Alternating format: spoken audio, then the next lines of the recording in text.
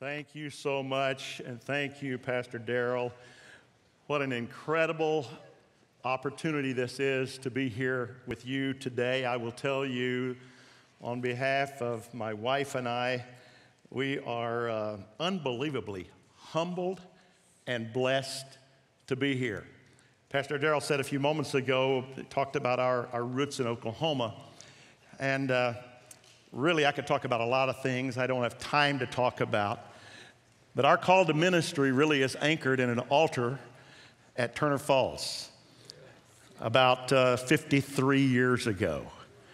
And uh, out of that, everything, everything in our lives anchors back to that altar call that night, where my wife received the baptism of the Holy Spirit, and God took me to a place of surrender that literally has set the stage for everything.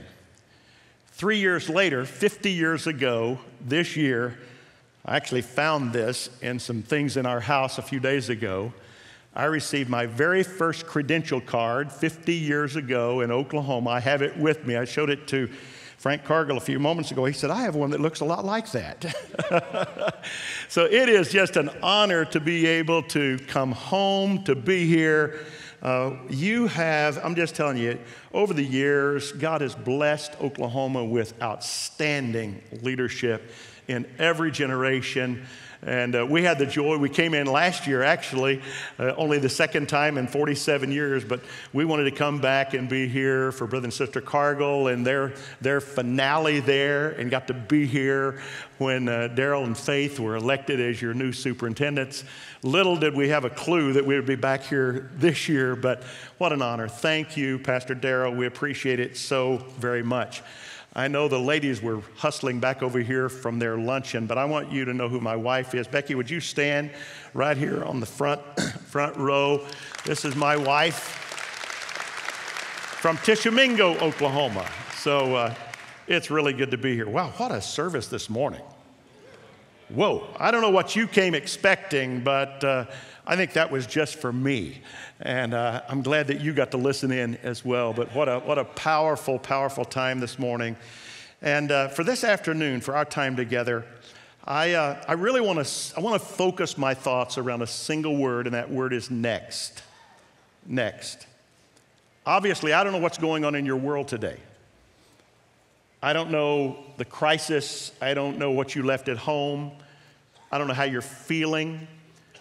I don't know the circumstances that are around you, but I have absolutely no question that in this district council, this morning, this afternoon, tonight, tomorrow, throughout, God wants to meet us here. God wants to meet you right where you are, and God wants to talk to us for these moments this afternoon about the simple word next. I like the word next. I really do. There's a lot that I like about that word. As a matter of fact, for the last several weeks, we've been talking, Becky and I have been talking about the fact that next month we get to be in Oklahoma for the district council. And, and uh, next week, last week we were saying that next week we get to see some great friends from Oklahoma. And now here we are.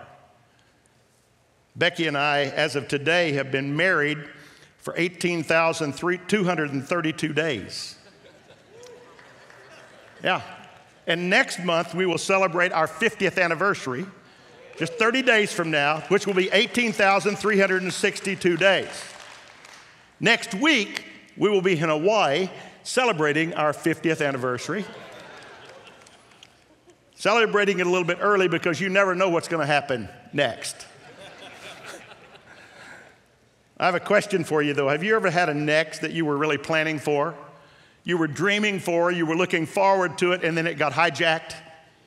Has it ever happened in your life? Or maybe, you, maybe you've been robbed. Someone broke into your home or broke into your car and stole some things from you, and all of a sudden, those things that you had are now gone. That next that you had planned is gone.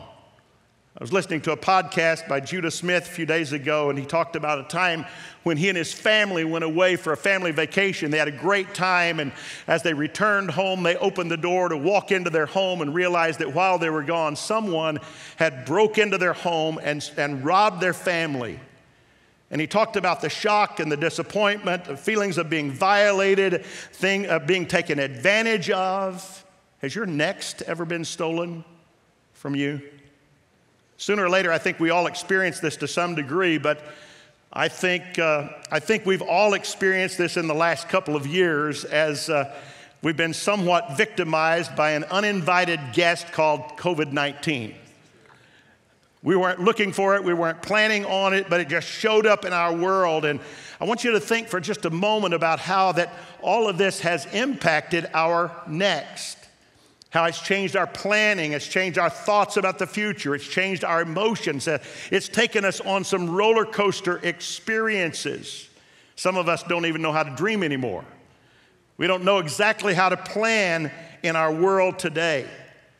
Think back for just a moment to January 2020. What were you thinking about as you were entering into this brand new year, this brand new decade? Your dreams, your plans, your, your personal plans for the year, the plans for your church, your 2020 vision, all the whiteboarding and the planning and the design and everything that was happening. And then COVID 19 showed up and it just blew it all to pieces. And we've been navigating in our world having been am- impacted by that. Some of you had children or grandchildren or close friends that were graduating in 2020, and all of a sudden we're introduced to virtual graduations. Wasn't that fun?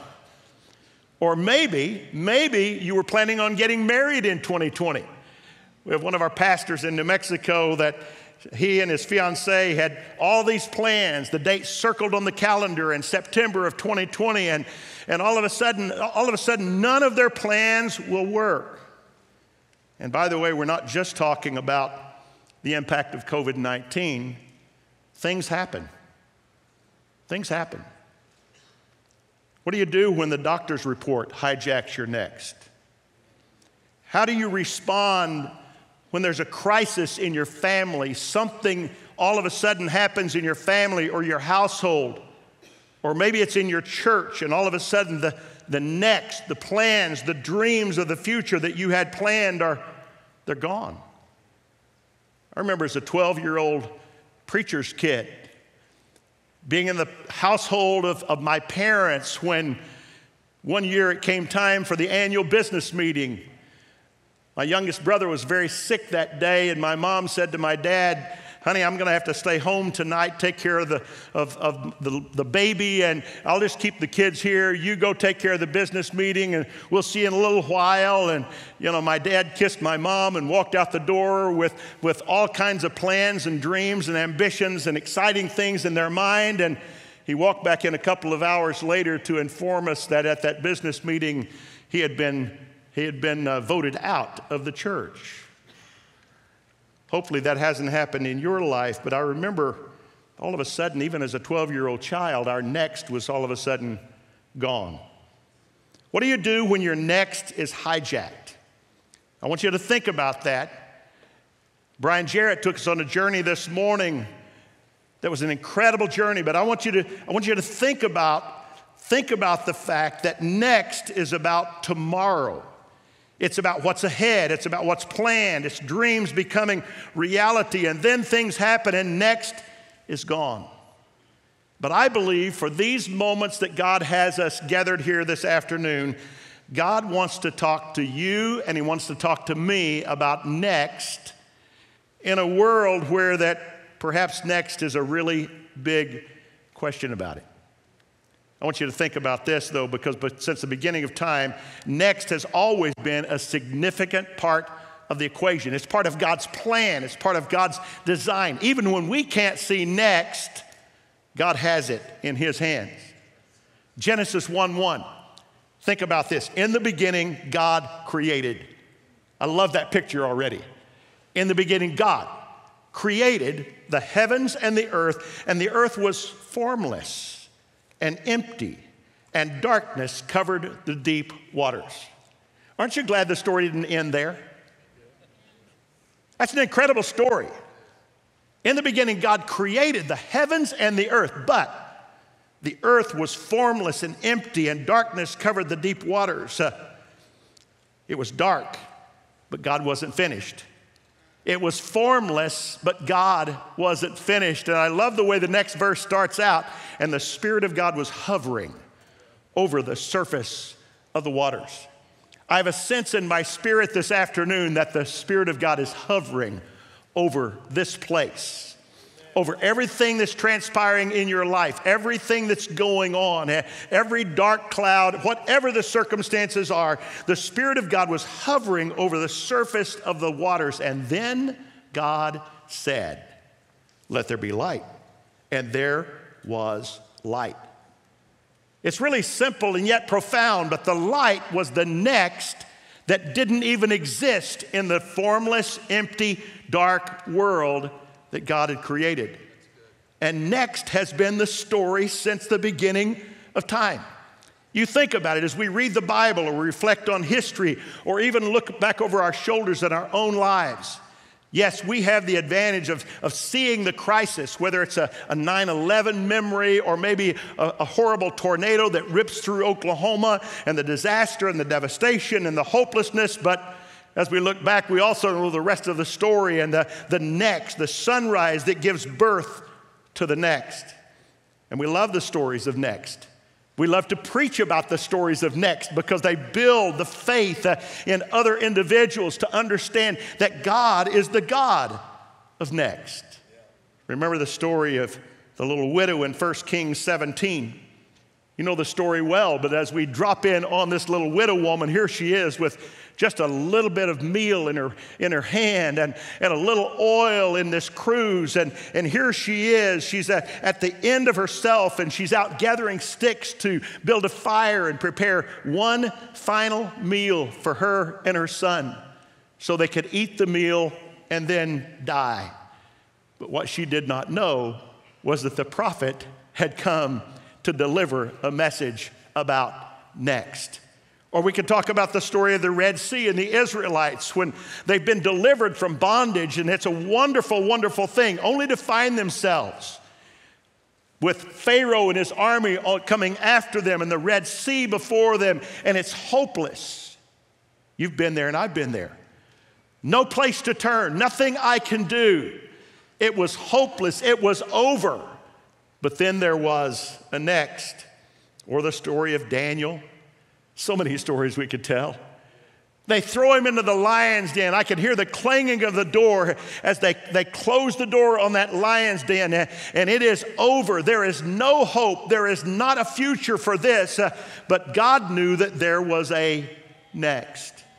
Or the story of Jesus, whose earthly ministry ultimately takes him to a place called Golgotha the cross, the crucifixion, his death. It is finished. The darkness, the, the sun stops shining. Jesus is in a tomb. The tomb is sealed. But thank God we just celebrated it a few days ago, and we still celebrate it today because there was a next uh, as the Spirit of God was hovering uh, over the current circumstances uh, and the resurrection became a reality. I want you to consider this this afternoon because I recognize that next in so many of our lives today, looks a bit ominous as we try to look to the future from where we are.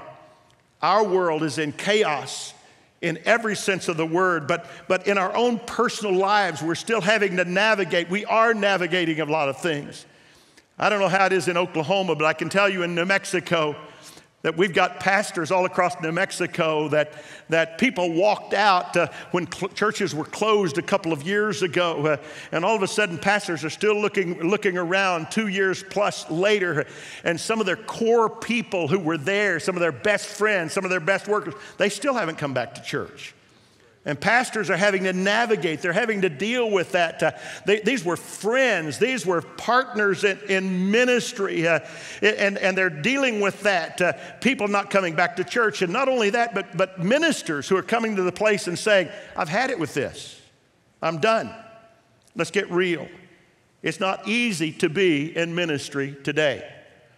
I said this to the presbytery last night, but I I shared this in, in our office. Uh, uh, it's been a number of months ago, but I really do believe, apart from the call of God, this is a pretty unenviable time to be in leadership. Apart from the call of God. I love uh, our friends Jim Fuller and uh, Pastoral Care here from Oklahoma. And uh, these guys do such a phenomenal job. And, and uh, thank you, by the way, for being willing to share them with us in New Mexico. But there's some pretty sobering statistics on their website, one of which is to remind us that every single month across America, depending what statistics you happen to be reading, 15 to 1700 ministers a month are walking away from ministry and saying, I'm not doing this anymore. I read the Barna research that no doubt many of you have read as well recently that said that data collected from their research indicated that U.S. pastors are currently in crisis and at risk of burnout. And notably, in 2021 alone, there's been a dramatic increase in the number of pastors who are thinking about quitting the ministry altogether. Specifically, 38% in 2021. 38% of pastors in America have thought about quitting the ministry altogether. I'm not talking about the Monday morning blues. I'm not talking about just having a bad day. I'm talking about seriously considering quitting. If you read a little further in that article, it, it really comes close to home because it said that 46% of pastors under the age of 45 are thinking about quitting ministry. That's a, that's a younger generation. That's, that, that's the generation we're counting on for tomorrow. And 51% of pastors in mainline churches. This is getting really too close to home. I don't know where you see yourself this afternoon. But across the country and around the world, this is real. We're talking about reality. I know we come to district council and we greet one another. Hi, how are you? I'm fine. How are you? I'm fine. I'm fine. You're fine. The whole world is fine while the whole world is falling around us. We got to get real. I heard Christine Caine talking about this recently in a podcast. And she talked about attacks that she was dealing with and the negativity and the polarization and the criticisms and the attacks. Uh, and she talked about her personally coming under a, a severe attack over the last couple of years. And she said she came to the place where she personally felt like quitting. And as she described how she wrestled with it, this really struck my heart as I heard her say, uh, I've been through a lot. I've had a, I haven't had an easy uh, past in my own life. I've gone, I've gone through some really tough times. Uh, and she said to herself, I'm tough enough to tough this out. But do I want to? Do I want to?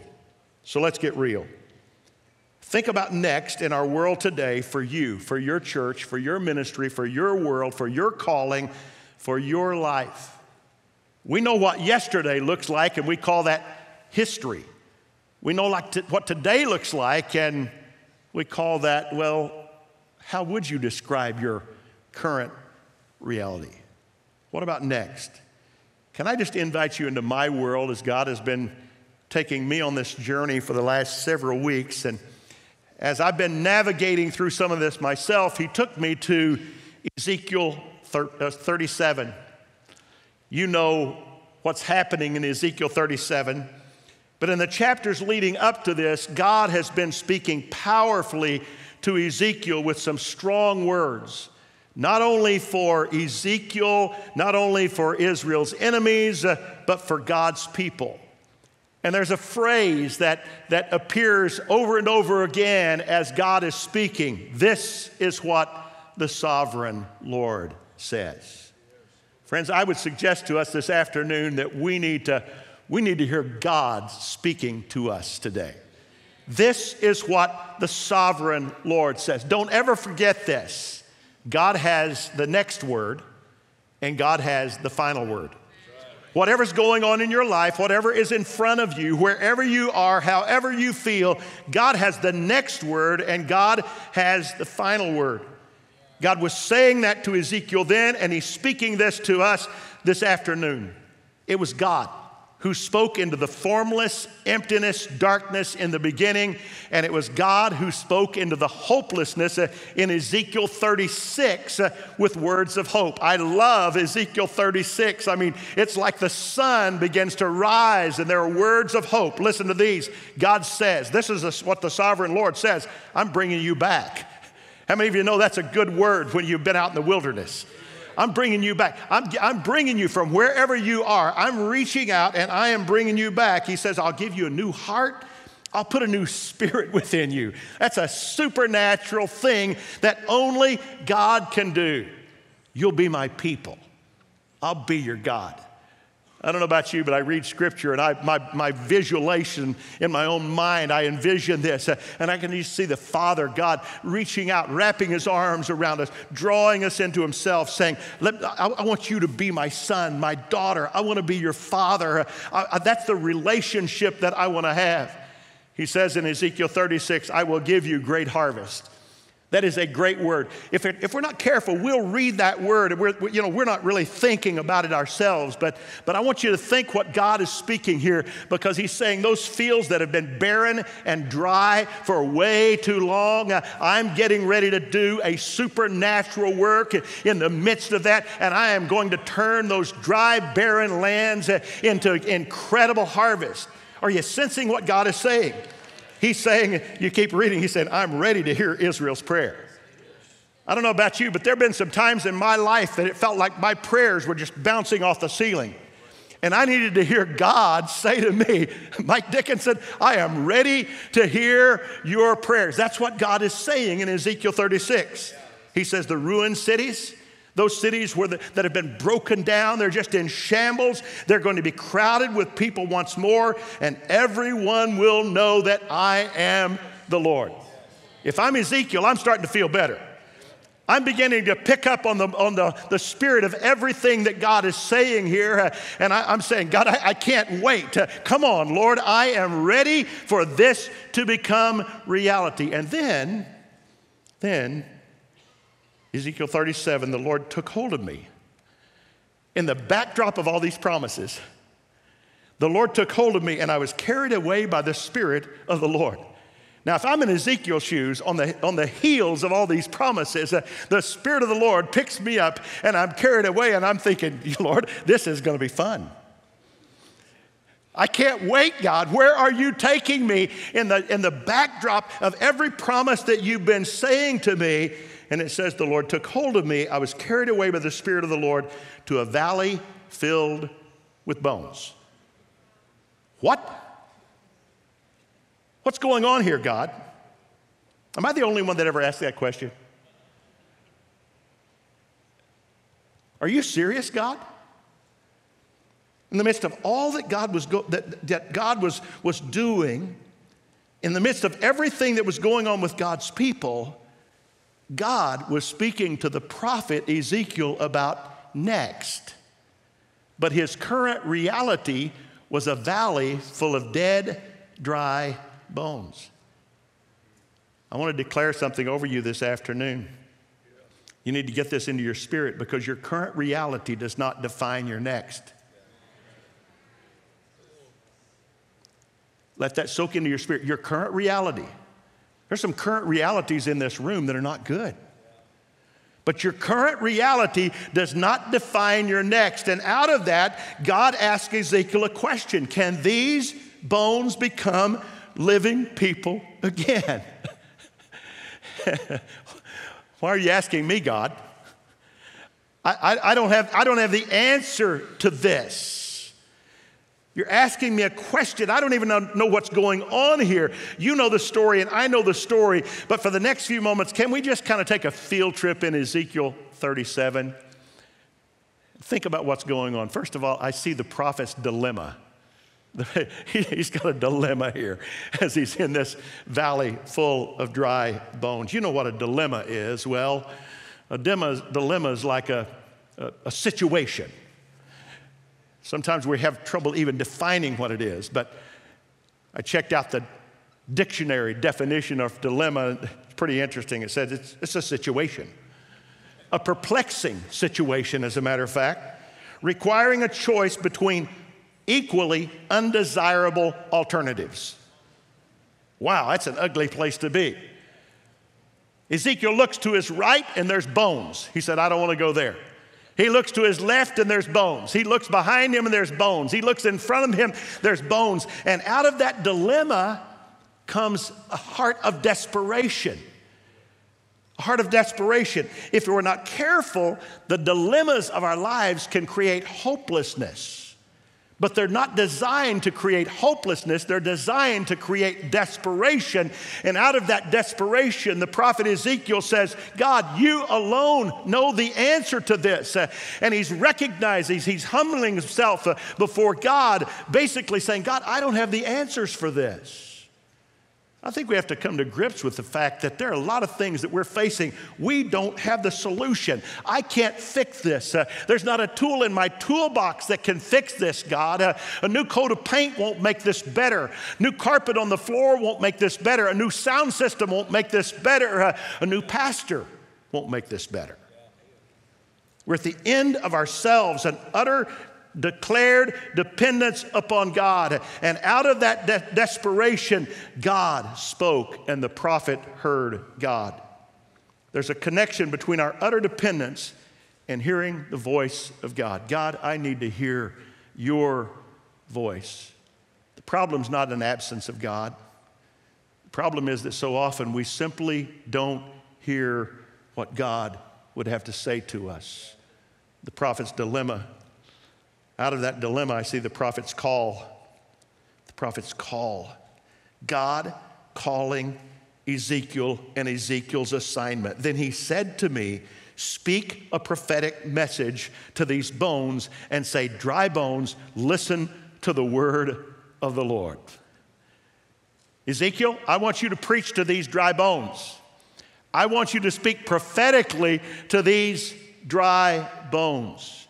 What does God have to say to dry bones? What does God have to say to what's going on? And it was a prophetic message and a God message. And if there ever was a time in our world uh, that the kingdom of God needs to be represented by men and women of God uh, who utterly depend upon God and allow God to speak through us uh, to deliver a God word into our world, it's today. Speak to them. Speak that word, Ezekiel, that originates with God and is given to you from God. Speak that word to these bones. And then I see the prophet's call, a call of God there, of course, it's, it's, it's so significant. I personally believe, I'm a huge believer in the call of God.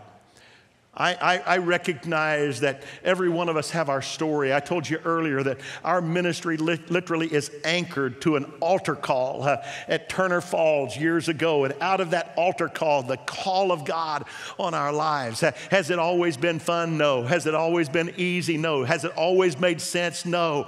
But I'm just here to tell you the call of God will anchor us when nothing else will. I personally am under, of the opinion today that the call of God perhaps has never been more important than it is right now in our lives, in our world today. If you're not anchored in the call of God, you may be one of the 38% or that 46%. We've got to anchor in the call of God. And then I see the prophet's voice. And I hear the prophet's voice. His voice sounds a lot like God's voice. Uh, I think that's God's plan, by the way, that our voice doesn't need to sound like us, it needs to sound like God. What is God saying? Verse 5, this is what the sovereign Lord says. This is what the sovereign Lord says. Here's, here is Ezekiel being called by God to speak to these bones. And here he is, uh, and God is saying, Okay, Ezekiel, it is time for you to speak. Have you ever been, have you ever felt so strongly in your heart? God has given you a word to speak, but have you ever been a, been a bit intimidated by the word that God's put in your heart? you say, God, I don't know if I can do this. I don't know if I can pull this off. I, I, don't know if I can make this happen here. But this is what the sovereign Lord says. Look, put yourself in his shoes, by the way. He's speaking to dry bones. I'm going to put breath into you and make you live again. I'm going to put flesh and muscles on you and cover you with skin. I will put breath in you and you will come to life, and then you will know that I am the Lord in my mind, I don't know if, uh, I don't know if Ezekiel is speaking boldly or if he's just barely getting the words out. But he is declaring the word of God. This is what the sovereign Lord says I am going to put breath in you and cause you to live again. Don't miss what's happening here. And think about it relative to not just what was going on in Ezekiel's day, but think about it relative to your life, your ministry, your world. In the midst of this valley full of lifeless, dead, dry bones, God is setting up a next that will blow your mind. As surely as in the beginning, God spoke light into darkness. And as surely as the resurrection spoke life into death, the prophet Ezekiel is speaking prophetically over these dry bones uh, about God's plans for next uh, that he couldn't even imagine in his own world. and as the prophet of God began to declare the word of God, all of a sudden something powerful began to happen in that valley as God began to give birth to a next that could not even even begin to be imagined. It would have scared me to death. All of a sudden, bones began to move. All of a sudden, bones began to rattle. You know, Ezekiel may have said, I didn't want to be here in the first place, but I'm not really sure I want to be here right now. But as those bones began to come together, there's a rattling noise across the valley, and bones began to come together. And, and, and God began to do the God part of the equation because the man of God had done his part, uh, and muscles and flesh and skin. I mean, it, it is a, an incredible thing that is happening as God is setting up the next. We can stop right here and be pretty unbelievable. It's a wild and crazy story. People, people, uh, can you imagine the new YouTube videos uh, uh, that could be there and all of the hits on the YouTube just to be able to watch this happen uh, if that were possible? But God wasn't finished and God had more plan. And God was getting ready to take next to a whole new level. God has a word for you today. God has a word for you today. God's not finished. God's not finished. I don't know what it looks like in your rearview mirror, or I don't know what it looks like in your window ahead of you. But I can tell you, whatever your world looks like today, God is not finished because God is always about next. You need, to, you need to reach out and you need to grab a hold of that. God is about next. And then finally, Finally, I want to talk just briefly about the prophet and the supernatural. And I recognize the supernatural is already at work. I mean, bones beginning to rattle and come together, and flesh, and all of, all of that that's taking place. But I, I want us to think about the supernatural because if you take the supernatural out of this story, we don't have a story. If you take the supernatural out of the story, there is no next. The God story has always been and always will be a story of the supernatural. How long do we think we can do church without the supernatural? Exactly how much can we really accomplish without the supernatural? Is our best really good enough? I think we have to come to the, just a fresh realization that, that we can't accomplish what God's called us to accomplish apart from the supernatural.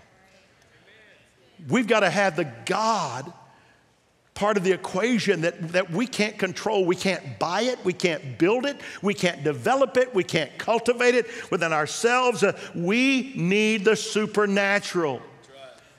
Verse 9 speak a prophetic message to the winds.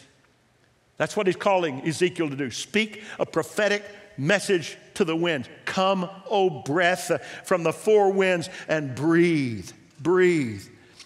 I've already said it before, but everything about this has got to be intimidated to, intimidating to the prophet Ezekiel.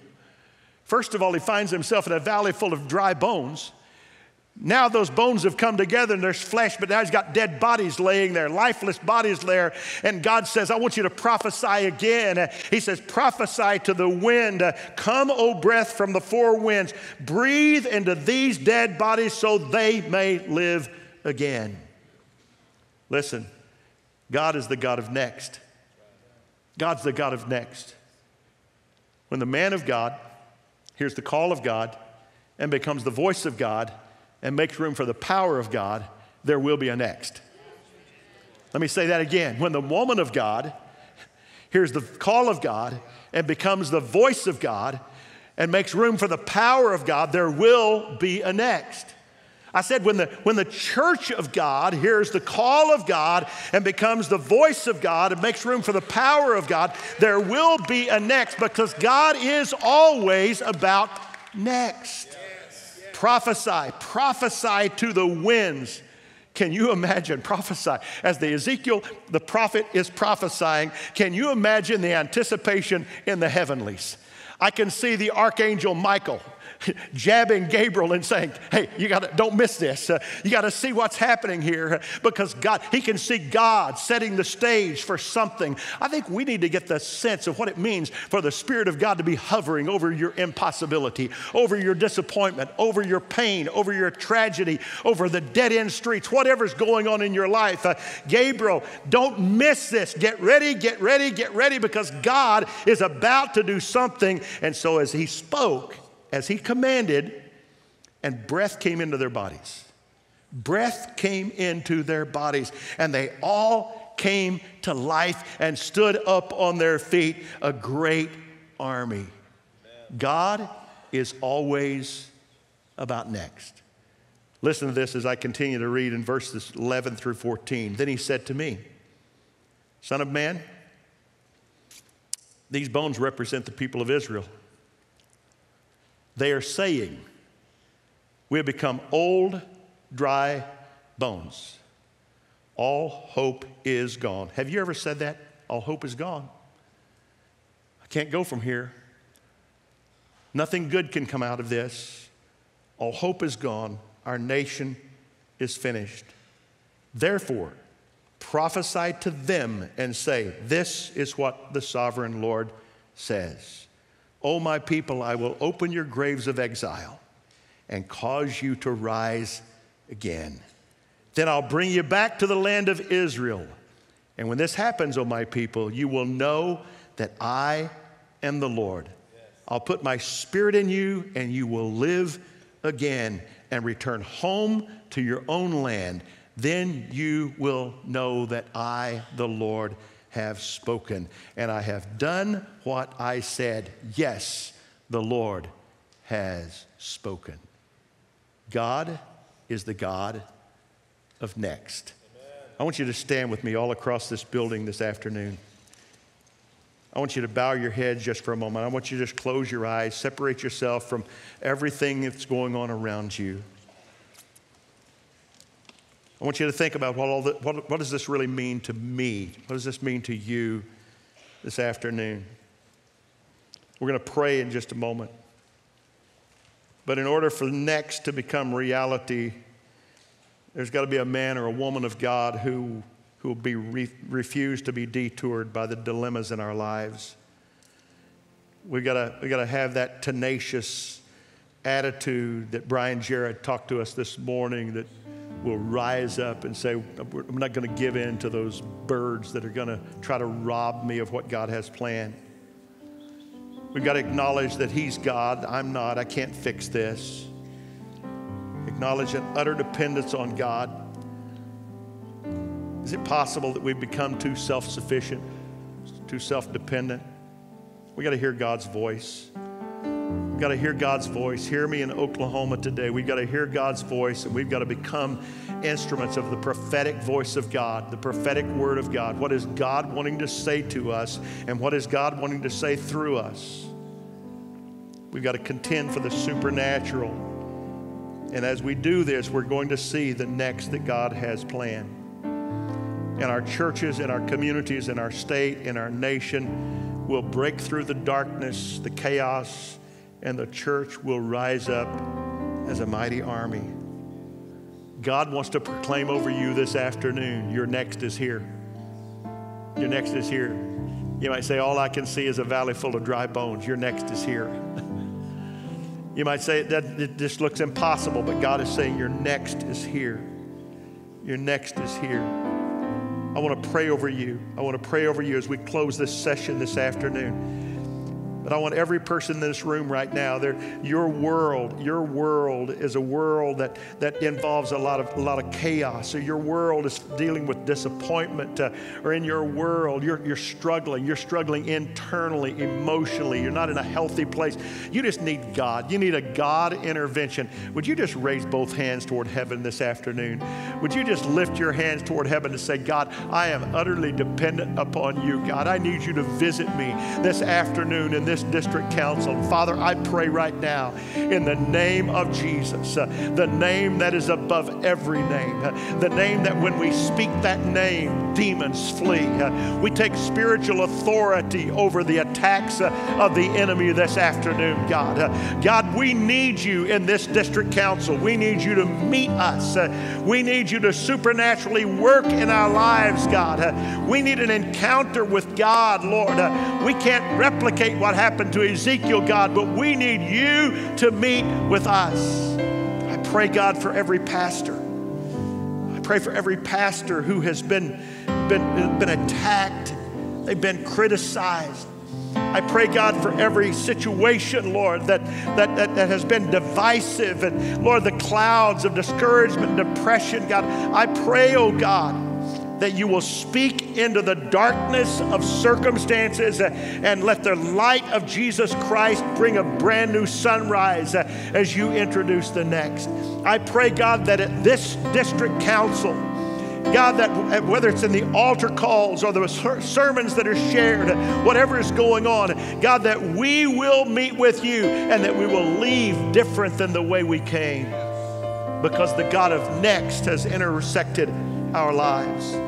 God, I speak blessing. What, where the enemy has brought about curse, I speak blessing over every pastor, every church, every ministry, every marriage, every household, every circumstance. I, I pray that the blessing of the Lord that makes rich and he adds no sorrow with it, uh, God would just chase us down, embrace us, oh God, and cause the next that you have designed for us, God, to be revealed in our lives and in our ministries and we'll give you all the praise in Jesus' name. Can we just give God a shout of praise this afternoon? God bless you.